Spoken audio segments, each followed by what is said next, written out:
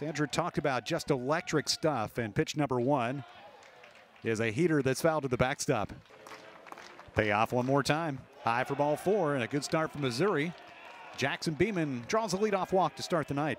Carter out of the stretch, short lead at first for Beeman. Runner on the move, swinging a miss for strike three, and safe at second. First steal of the season for Jackson Beeman. I think they're going to yeah, call. I think they're going to call him out. Yeah, I think they're going to call interference. It was a nice job by Espinal just throwing right through Austin. Yeah, it went right in the middle of the, the base. By Coach Kerrick Jackson. Some veteran players, a lot of young guys as well. Out on strikes. Had him way out in front as Carter fans peer. Rustad got him out on strikes. Went to the breaking stuff. Kojal gone. Two outs for Vanderbilt in the first inning. One two coming up. Close pitch. Strike three. So a strikeout swinging of Kojal. Three straight Ks for Greysen Carter as he fans Curry to begin the second. In Columbia, one-two pitch. Greysen Carter to the plate and a swing and a miss by Hernandez. Carter sitting him down one after another. Four consecutive strikeouts. Carter's two-strike pitch trying to sit him down in order. Swing and a miss. Fastball hits triple digits on Tuesday night. 0-2 pitch out on strikes. Hit up the steakhouses, the restaurants is one of my favorite things to do here. Liner off the bat of Troy LaNeve, a first base runner for Vanderbilt, a two-out single by the Commodore left fielder. I'm going to bring a rally, right? Vanderbilt basketball program. Well, the former players, it's their program. Long drive left field off the bat of Polk. And that one's not, ah. oh, it's just off the top of the fence. LaNeve at third, thought that was going to leave the yard. It stayed up there a long time. Vanderbilt has runners at second and third on the double by Polk. That's tough. That's tough in left field over there. You got to Yeah. got to get it up a little bit. But Davis Diaz, runners at second and third. Commodores looking to take the lead here in the second inning. Fly ball, short right field, down toward the line, and it's a foul ball. Nope, catch was made. Wow. Beeman went out of sight, but made the catch. Here's Carter's 2 2 pitch. Called third strike. He sits down Garcia. That is six consecutive strikeouts. Swing and a miss. Fastball.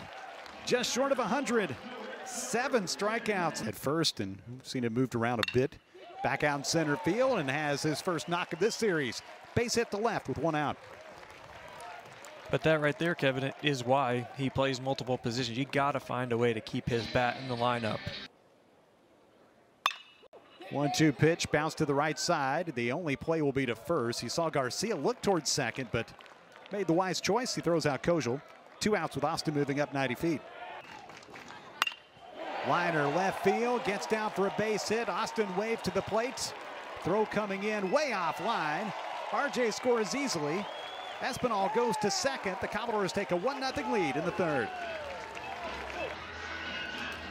And that was a pretty good pitch there by Rustad. A nice job by Espinal going down and getting it.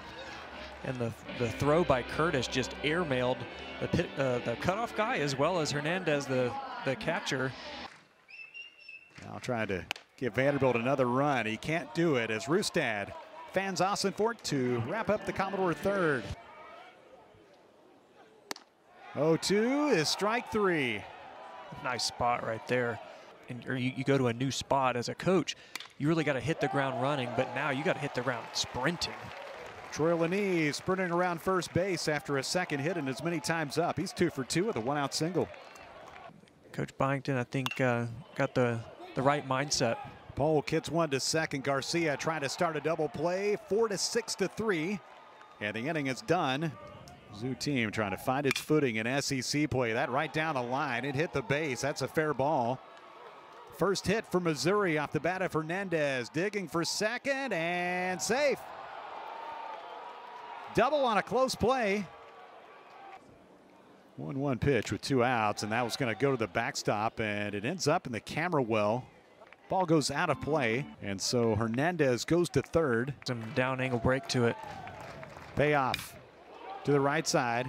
Austin for gloves, finds the base, and Missouri is done in the fifth. Ripped his pants, held onto the ball, and Diaz is hit by a pitch to start the fifth.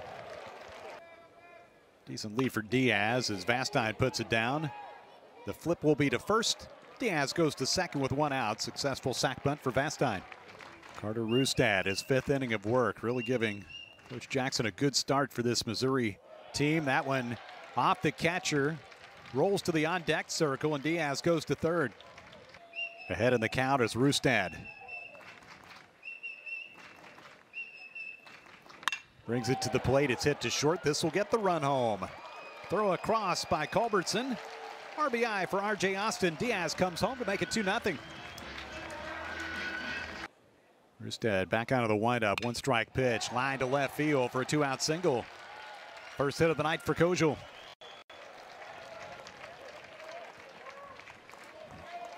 One one the count to Espinal.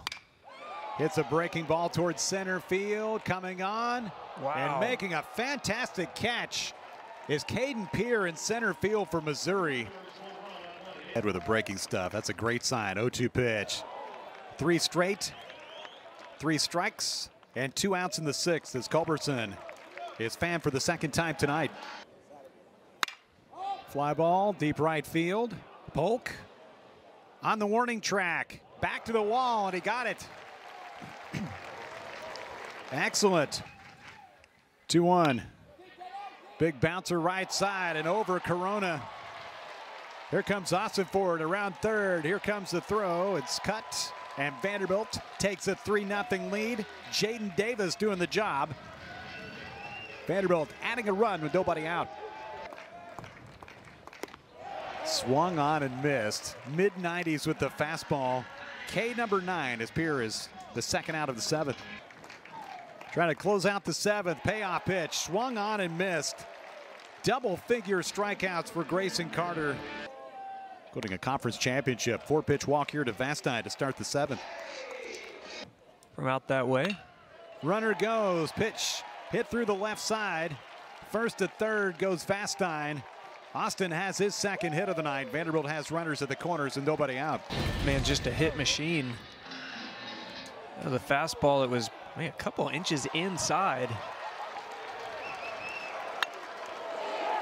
Nice job going first to third here by Jonathan Vastine. And while we were watching, Austin ends up at second base. Kind of caught him napping and took off. Yeah, you saw both Culbertson and Garcia. Right side, glove Nope. by the first baseman. Everybody stays put. Corona to the back, one out. Smash to third. This is going to be a double play as Austin fields the line drive and goes to the base. Hernandez at second at the time. 1 1 pitch. And a second hit of the night for Mizzou comes here in the eighth inning as Curtis goes the other way for a one out single. Easily uh, kind of turn the tide if they get few runs. Runner on the move. Pitch is high. The throw to second is not in time. Curtis has a stolen base. That makes him seven for eight on the season. He has been good in that department. One and one. The count to Garcia, the man at the plate. He swings one and one and sends a high fly ball to left. Long time for LaNeve to wait. He makes the play. Two outs. That Wake team was good. All the way to Omaha. This is a fair ball. Austin Ford on the backhand. Vanderbilt strands a base runner in scoring position in the eighth. Payoff is ball four. Leadoff man reaches for Vanderbilt here in the eighth. A game when you have the lead going into that ninth. Takes off on the first pitch, and Hewett is out at second. Strong throw by Hernandez, the catcher. Past the mound, out to second. It's Garcia. Nice play. Close play at first. Davis is out number two. Continuing a long win streak here at Hawkins Field. And that will take us to the ninth inning as Leave strikes out to make the game one start, and he has delivered big time for Vanderbilt tonight. Out on strike, breaking pitch for out number one. Did that pitch count at 111? One out in the ninth, smack back up the middle. Only the third hit of the game for Missouri. Tigers have a one out base runner. One of the big threats in this Missouri lineup is Trevor Austin, and the first pitch from Genther goes to the backstop, allowing Beeman to go to second with one out. Get hot, so he's he's probably getting loose as he's doing it. Long drive, left field. Polk at the track, makes a catch. The runner Beeman tags, heads for third. Polk ran that one down in the gap for the second out of the ninth. Caden Peer, this one goes to the backstop. Runner coming down and will score on the wild pitch to break up the shutout as Beeman comes in to make it three to one. With two outs, Pierre at the plate and Genther on the mound. Ball four. Trying to get that 27th out. Ball and two strikes. And that's all. Commodores take game one as Genther fans Curry to finish it off. 3-1 the final. 12 state straight wins for Vanderbilt here at Hawkins Field. 4-0 in conference play at home. The story of the night, though, Greysen Carter, Yeah. eight and a third innings of fantastic baseball.